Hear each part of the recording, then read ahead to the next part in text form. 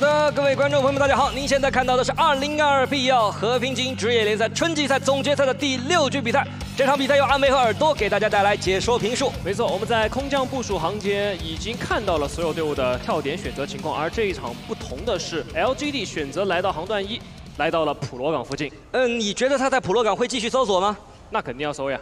因为你要回到橙花镇是离得太远，时间实在是太久了。除非他在转移的过程当中，这个圈正好是套在了东北部，那他可以顺势回家。呃，这场比赛的结果是怎样我不知道，但我明确的发现 LGD 在总决赛的第二天有一个很大的战术调整嘛。这个跳点改变之后，我非常担心，如果是出现了那种啊跟他们原本跳点的橙花镇啊、一波城。八竿子打不着的那种圈型，他们的运营思路会不会受到影响？有可能，有可能，因为在平时的跳点当中，虽然说是见过那样的圈型，但是起始点不一样，所有的节奏就很有可能不一样。呃，另外啊，在常规赛当中，LGD 其实在这个普罗港附近打过一次决赛圈的，当时他们的选择还是以保守和稳健为主。嚯，这个圈型果然如我所料，是真的来到了断城城花镇附近。那我觉得 LGD 可以简单的搜索之后回到城花镇。是的。而另外，我们看到 TC 目前积分是排在第六的位置，而他们的跳点啊，就正正好好落在了这个安全区的中央的三分之一的位置。没错，现在对于他来说，其实他算是第二顺位，因为正前方有 AG，有体坛。嗯，哎，宇阳这里是被打残了。如果这个圈型刷完之后啊，我比较好奇 AG 战队的流行战术能不能使得出来？嗯，他现在已经比较偏圈中心了，我觉得暂时来看还可以。人一手，是的。另外啊，宇阳也是2021 PMGC 的鹰眼选手啊，这个远距离的淘汰拿的比较多。对，这个是我记得是在海岛地图啊，嗯，四百多米的距离把一个敌人淘汰了。那这样的一个圈型，配合着宇阳的这个状态啊，包括昨天兄弟们的这个状态，这场比赛岂不是要杀起来？目前来看。ST 的顺位呢是在圈的边缘，正前方呢是被两个队伍卡住的，所以对于他来说，他只能顺境慢慢的接盘。他无论是从北绕还是从东绕都没有可能。你想要判断一支战队能不能杀起来，首先要判断周边啊，对吧？自己的敌人有哪些？对。呃，刚刚我们提到了 ST 是处于安全区的一个边缘，进圈是有很多支战队，如果不放点的话，他自己强行想要抢，可能会遇到一些危险。而且要熟悉周围队伍的转移节奏、转移的路线、转移的习惯。知己知彼，方能百战百胜嘛。是的，啊，这是我们老生常谈的问题了。对，你要知道，昨天很多支战队没拿分的原因，就是知己不知彼啊。那其他战队改变节奏了，自己还是照之前那么打。对，这个就很容易出现问题。很多队伍在总决赛里面用了一种出其不意的打法，打乱了你的阵脚。像昨天 K1 这个海岛地图，应该是阶段二四防，直接跟你正面硬打 RSG，这你之前能想到吗？想不到，对吧？这就是战队改变了自己的一个想法，可能呃整个 K1 的队员和教练也听烦我们观众朋友们和解说啊，常说哎呀 K1 正面实力不行啊，这个不算顶尖，擅长打枪线，他们就是要正面证明一下自己啊。不过也确实是打过了 RSG，，没错。而对于 NV 腾讯视频来说，令2021 PMGC 全球总决赛的 FMVP，总决赛 FMVP。代表着在总决赛那段时间，他的数据啊是整个参赛队伍最好的。当时是一个断层的领先啊，嗯，非常的夸张。但是现在这样的一个过点也是比较夸张的，这属于 NV 腾讯视频的一个提速了。嗯，这一波提速是吓了导师一跳啊！啊，直接把导师给吓倒了。问题来了，NV 腾讯视频这样的一个提速，应该是抢了体坛和 AG 的一个节奏了。是的。而刚刚我们在画面当中是看到 J Team 有一个加速嘛？那 J Team 提前走的话，对于 LGD 来说，他们就不可能回到橙花镇了。没错，这样一来，LGD 是选择继续在普罗港附近搜索啊，慢慢的来到东北部，慢打绕圈。哇，这大家打的真是跟常规赛和季后赛不一样啊！这个圈型确实是要抢一抢的，因为其实我们仔细一看，是被断城附近的马路分成了阴阳圈，嗯，有西北部和东南部。而这样的交通枢纽正由上海恩威腾讯视频提速拿到。没错啊，它的旁边是体坛，体坛现在是一个分彩。昨天体坛的进攻打得非常的主动，你看现在凯旋又开始了。呃，如果说昨天在海岛地图啊，体坛没有那一波四人盲扎 J Team 的话，我觉得微笑也不可能带着队伍啊，在那场比赛拿到那么多排名分了。对，当时也 K 了很多的头啊。呃，主要是那样的一波进攻，让大家花费在这个运营思路、选择绕边上的这个精力减少了。大家不要觉得一天五场比赛，选手打起来好像很轻松啊。对啊，这个经常打完五场比赛之后头发油了啊，头发也可能掉了，精疲力竭。所以你可以在一些关键的时候啊，把更多的注意力放在作战上面，我不要去想太多运营的这种方式，也等于给自己休息了一两场的时间嘛。没错，想不了太多的时候，直接圈中心标个点，兄弟们扎。是的，哎，你不要在重庆 team 派的时候说这个话，好吗？我感觉他们随时随地都要扎了，该扎还是要扎的啊。这第一。目前刚刚龙仔是有一个明显的等待队友的动作，那就说明 JD 在这场比赛已经想好了，要把自己的速度降下来，想要控制圣马丁南边的这个山区。呃，我大胆猜测一下，很可能是根据我们这个呃比赛模式的这个圈型的刷新的一个规律，可能觉得，哎呦，昨天的这个圈刷在了圣马丁的西边，是不是今天依然有机会往南刷？有可能。而第二种可能是因为他在新山城嘛，本来这个航线他其实要往全中心抢的话是抢不过像腾讯视频啊、像深圳 ST 这样的队伍。我既然抢不过，那我不如赌一赌。嗯。再加上龙仔昨天也是和维森讨论了很久啊，当时呃维森他们打得非常好的那个赛季的时候，龙仔就担任指挥嘛。没错。龙仔在队内不仅能够指挥，而且还能调动气氛，也是一个拿到很多淘汰，不可多得的指挥啊。是的。4M 依然是处于北边。昨天除了他们自己手感打得好之外啊，这个圈儿啊也确实是很给力啊。对，但是圈给力也要自己能守得住啊，也要能推得出去啊。4M 昨天确实做得非常的好。没错啊，兄弟们都打起来了。LGD 终于是非常迟缓的来到了成华镇的东边山头。不过好在这个时间节点，二圈还没有刷新啊。LGD 回到了自己跳点的附近的山头，这片地方他们熟悉啊。对呀。我几乎不怎么需要太多的思考啊，对吧？反正圈怎么刷，我都知道自己进圈的路线。嗯。但是他需要明白的是，我周边站的敌人是谁？对。他们的打法，呃，他们的这个方向究竟怎样？虽然说在这样的节点是来到了圈的东侧，还有高点，但是这样圈一旦西切，其实是挺难打的。呃，另外有一点，呃，今天的比赛和昨天的沙漠几乎是一样的啊，兄弟们都非常的紧。对。所以说昨天的节奏是急转直下嘛，到最后一场比赛，最后应该是只剩下三支队伍了，打得很快。阶段四就只有五支战队了，嗯，这这从来没见过啊，这训练赛都没有打那么快的。这还是总决赛呢。是，这个也跟选手们这个紧绷的心态突然一下放松有关。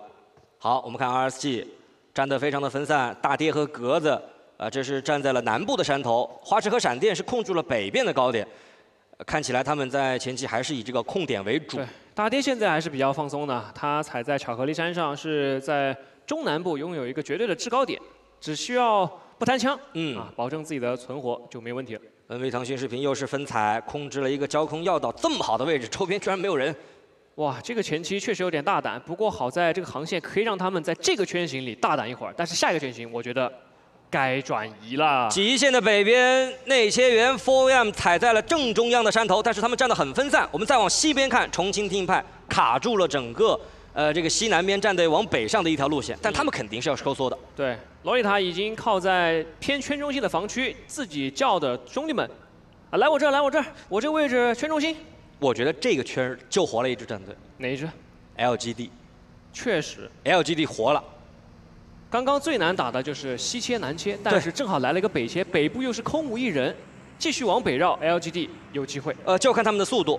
呃，以目前这样的一个行进路线啊，卡在 LGD 前方很可能是 J Team。但是你仔细一想，J Team 这支战队他打北边的次数其实并不多。对。我们大胆的猜测一下，他可能对北部很多的布防啊，需要花费更多的时间。那这就给到 LGD 一个突破的机会。没错，先来看这里，上海 4M。魏无羡是守着 AG 想要冲过来的防区，但是我觉得这个防区可以暂时让掉，因为这样的防区是高低分布的，高上面上面的那一层啊是属于一支队伍的，下面那一层可以属于另外一支队伍，大家可以做邻居。但是三三看起来不想放弃这个酒馆呀，这个酒馆不能放。今天的酒馆营业不？我们问问三三。八倍镜一开啊就确定了啊，不放不放。看起来今天三三是非常想营业啊。我们仔细看一下 4M 的这个站位，魏无羡卡住一个方向，朔风卡住一个方向，三三直接卡住 AG 的正面。嗯，你要打我就要打，所以可以很明白的发现，4M 他们是知道昨天手感爆炸的一个原因，对，就是从第一场开始一直打到最后。而且这样的高点啊是一定在这个时间点不要放的。但是侧面的俗击打倒了自然灿，不过 4M 是没有跟 AG 交过战的，所以不一定知道近点的人就是 AG。但是只要他起烟，4M 就会知道了。来了，魏无羡和朔风迅速的完成一个集结，三三也从。酒馆的位置开始往前顶，没问题，又打倒了秋离。现在 A G 只剩下两人站着，但是三三马上就要扶起来了，看看 FOM 要不要主动进攻。呃，这个房间有一个很大的问题啊，这个黄房是没有窗户朝着 FOM 的，是的，也就是代表着他要进攻，必须要用自己的肉体往前迈。哇，魏无羡又打一个，我的天，一传二，等不等队友？4M 这边非常的大胆，依然放了一个后点，前方就交给三位主力队员。自然灿烧倒了土豆，这个是致命的失误啊！现在 A G 在防区里只剩下一人，这个时候土豆心里面啊又被炸掉了，一防三。自然灿有一个楼梯，有一个掩体，但是还是魏无羡一穿三，撑住 A G。魏无羡一穿三了 A G，A G 自己也淘汰了自己一个，相当于魏无羡一穿四了 A G。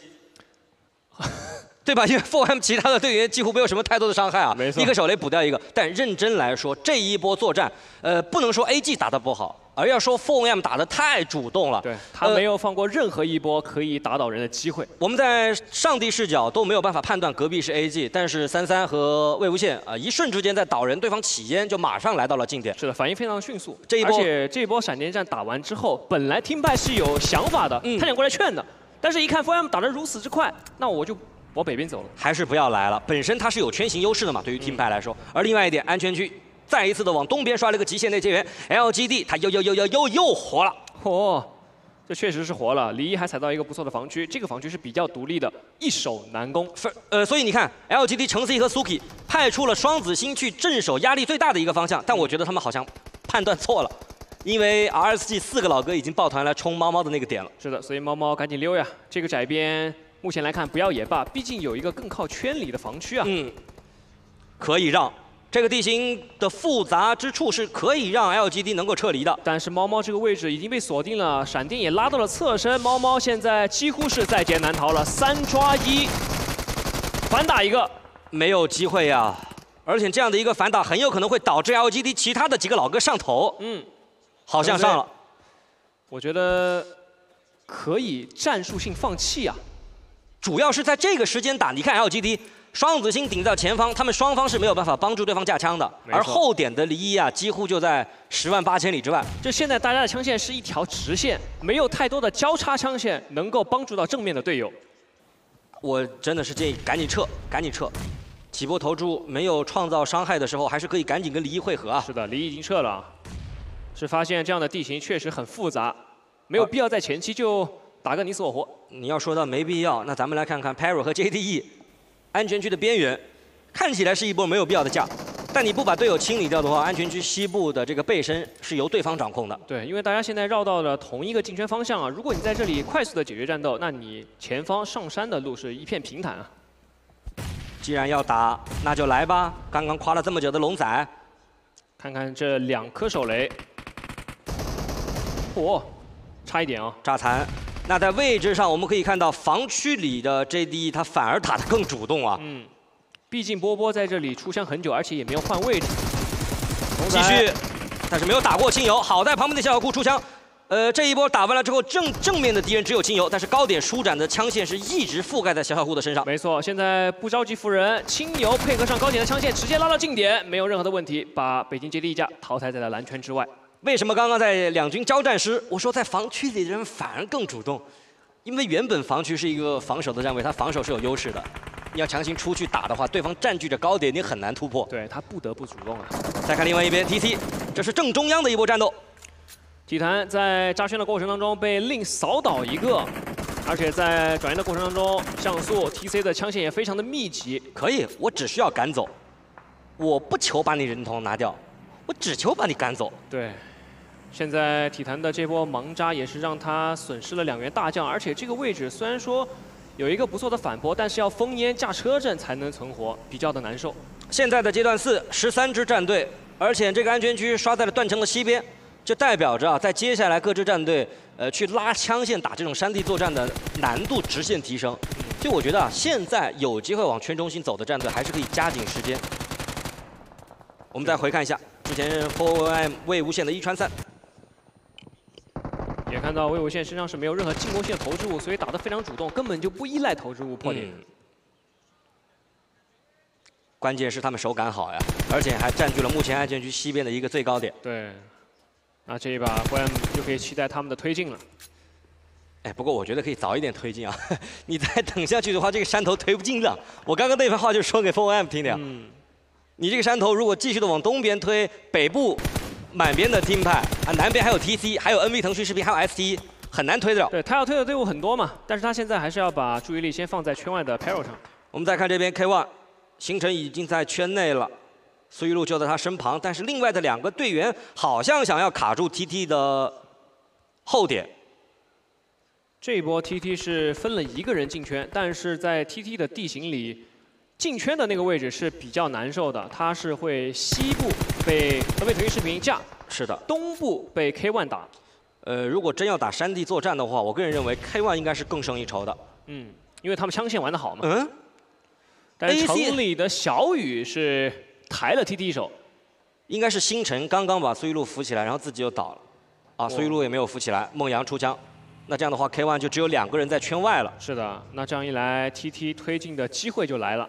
而另外一边，北边的 LGD 和离汇合之后，这样的一个废墟楼始终是要面临终极一战。他的对手是 RSG，而对手是四人满编。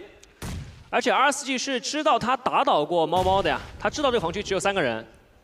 看看程 C，关键先生在这样的一个点位能否防住？花痴想要突破，你看花痴对于 RSG 这支战队的重要性又体现出来了。嗯，他总是在这种正面作战积极跑动，所有的人都在防区里，他现在踩在围墙外面，因为围墙外面的活动范围更大，他可以寻找机会来打出一个突破口，而且封了很多的侧身烟，主动的爬到了老干爹防区的围墙。擅长打突破选手的这种素质啊，真的非常像。你看他的这个动作，是不是很像王媛媛？嗯，是不是很像令？很主动。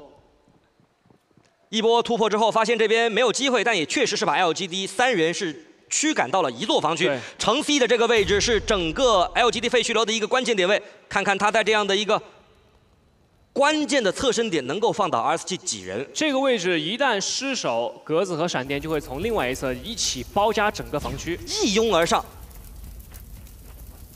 李毅的这个点位看起来是比较安全的，内部是有一台车直接卡住，城 C 被烧了，城 C 退了。这个时候状态还不错，但是你点位丢了呀！RSG 一拥而上，封了非常多的烟雾弹，还有很多投掷物啊！你只要侧身的点位一丢，对方就可以不停的用投掷物来试探你。而闪电已经来到了房间的一层。哎，这是好像是队友的火，这是队友的火吧？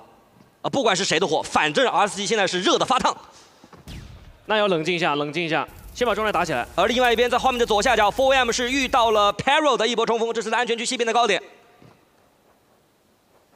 RSG 还要等吗？等身上的火灭掉之后再往前清理，那你之前用投掷物创造的一些机会就已经丢失了。主要是刚刚那一波燃烧瓶不知道是谁的，拖延了 RSG 的进攻节奏啊，导致他们的节奏断档了，只能被迫的保守一会儿。我觉得 LGD 现在想等有没有其他战队过来拉一把。但是这样的位置，毕竟在东北部的防区啊，很难。闪电一马当先，先放倒了李一，打开了第一个突破口。那二层其他人一拥而上，已经沦陷，一起往上扑。一层沦陷，Suki 在侧楼也被打到，只剩下程 C 了。程 C 拿着一把 UMP 四，一一传二，一传三，还有格子残血，程 C 能顶住吗？程 C，你敢相信吗？在这样的一个位置，这个废墟楼对把 RSG 的层层布置，一步一步的推进，先用投掷物逼你成 C 的位置，再来突破你的一楼，然后把你侧楼的苏给拿掉。四个人却没有突破成 C 的这个楼梯，一夫当关，万夫莫开啊！而且他打的还是在整个常规赛里面四人全员 KD 上一点一五的 RSG。这一波作战对 LGD 来说真的是大增士气。当然了，另外一个方向的作战也还没有结束。我们看看 ACT 这边面对苏南，直接把昨天十个淘汰的苏南收在了怀中，给他灭灭火。昨天你十杀，今天你先冷静一下。哇，不得不相信总决赛能够出名场面的 这句话呀！这一波打得太精彩了，这波确实是一瞬之间发生的事情，那个刷屏都跟不上我们的速度。呃，如果你说其他的战队。啊，就是他的对手战队露出了太多的马脚，给机会，那我们可能啊会稍微调侃一下这支落败的战队。但是刚刚的 RSG 他的进攻有问题吗？我觉得是没有任何问题的。对。而且他们其实靠得很近啊，补枪的时间点也很快。四个人连体婴儿冲楼梯去打一个，这不是常规操作吗？那个男人啊，有点回来的意思。没有想到我们二零二二年的春决啊，两天的比赛，第一天先唤起 Four M 的血液，嗯，第二天又召唤起了那个男人。但是目前来说，对于分数领先的 Four M 来说，掉了一个人在西南侧，还有一些高点。没错。呃，另外一点，我们仔细看一下目前的积分榜上，排名第一的深圳 ST 已经淘汰出局，而成都 AG 又是这场比赛。第一个被淘汰出局的，那么对于广州 TC、长沙体坛和重庆听派是一个追分的好机会。当然，对于上海 NV、腾讯视频来说，也是一个追分的好机会啊。嗯，他们是在南部有一个绝对的高点防区。没错。现在小小剑是想换一个点位，顺便捡个空投吗？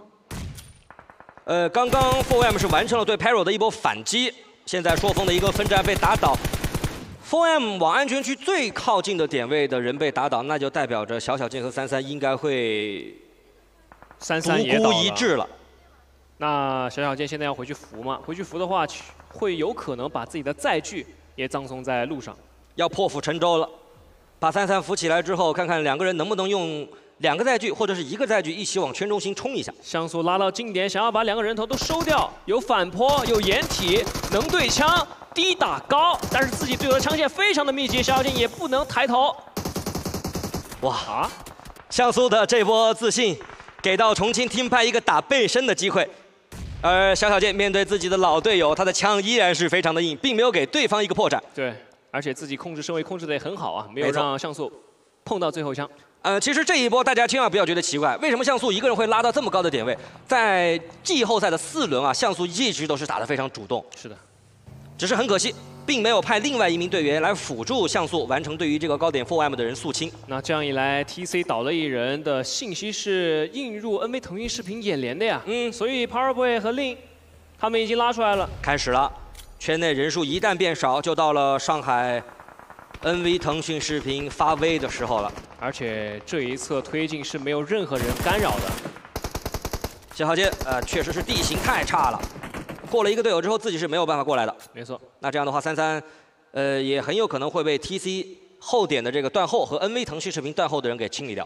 对的，他现在要面临七杆枪线，我觉得很难。虽然说他说他有三颗烟雾弹可以继续往前扑，但是他离安全区的距离大概有一百米左右。这一百米的距离，看看三三清爽的短发能否带他突破重围？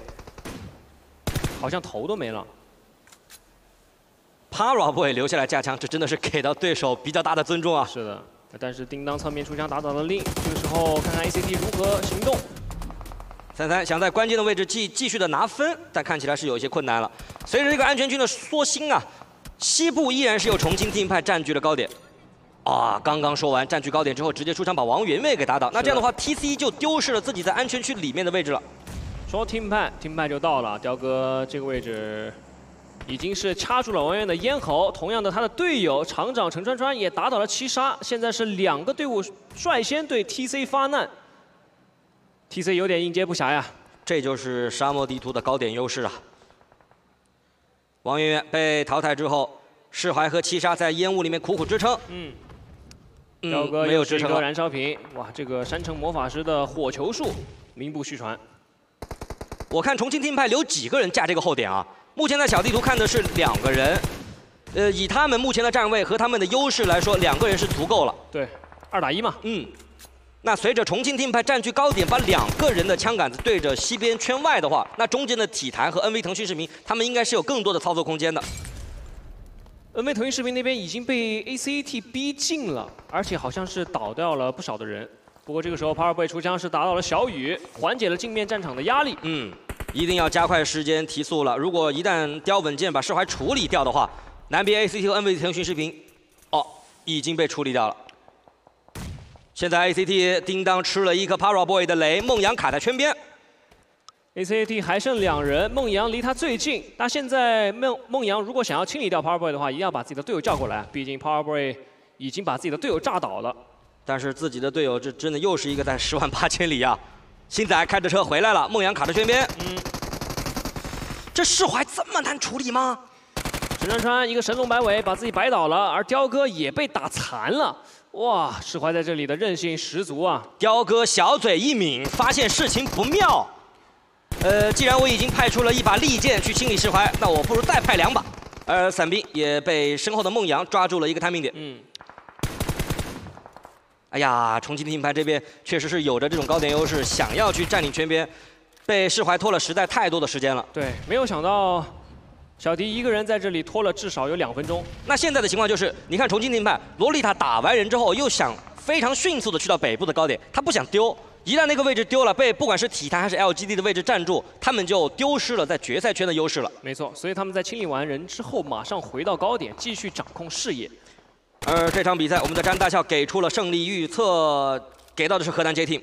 这是一支在这局比赛当中变换了自己节奏、变换了自己落点的一支战队。对，这场比赛，这个防区的西侧是有一个不错的反坡的，而且离他们最近的两个方向都是残边啊。嗯。他们只要以逸待劳，等着其他方向的敌人打起来，然后就可以坐收渔翁之利了。那我们仔细看一下积分榜。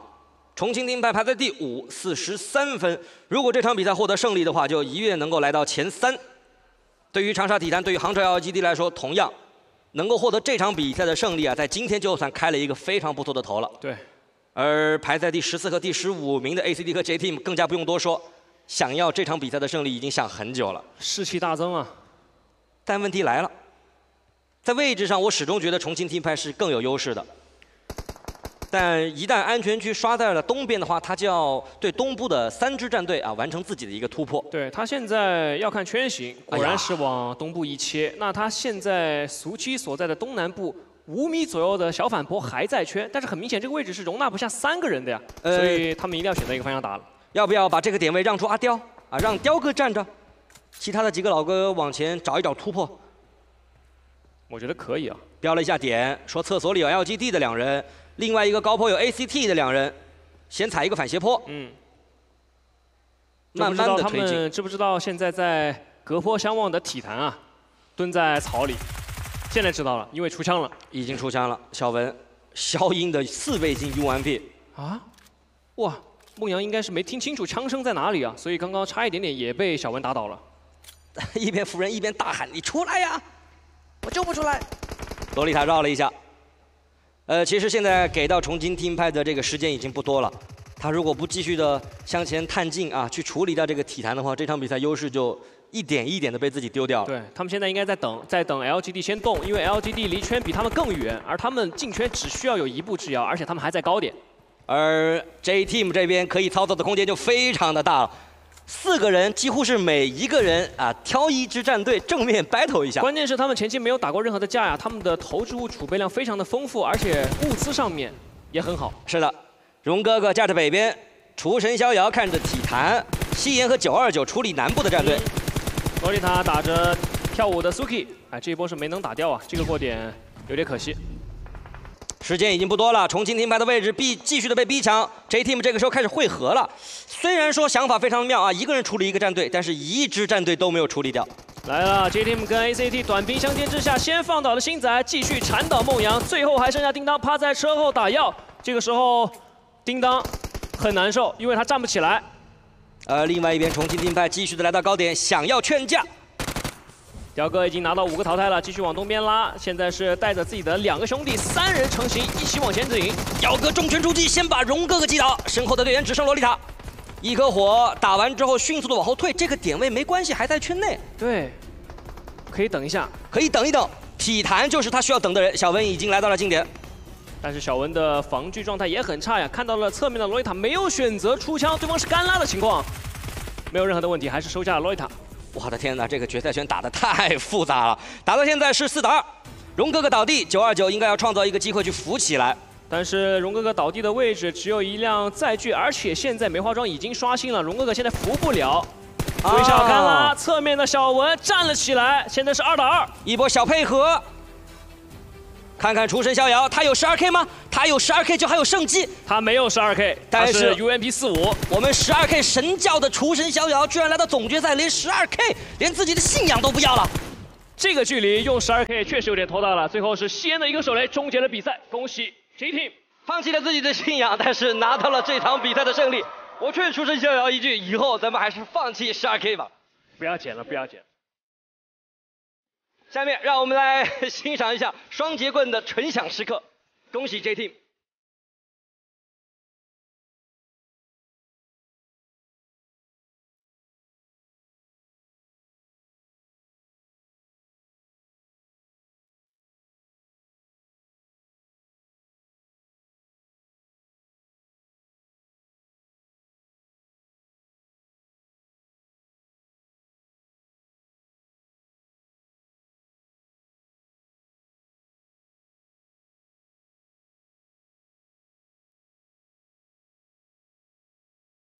好了，我们的纯享时刻享受的足够多了。呃，恭喜 J Team 拿到了这场沙漠地图的胜利，同样也感谢他们，让我们再一次的在 P 幺的舞台上听到了周董的双节棍。没错，这几个双节棍打的体坛，打的听派，那是头晕目眩。哇，这场比赛 J Team 前期的一个改变自己的，呃，落点是没有改变啊，还是像之前的落点一样，对吧？落在了整个沙漠地图的东南。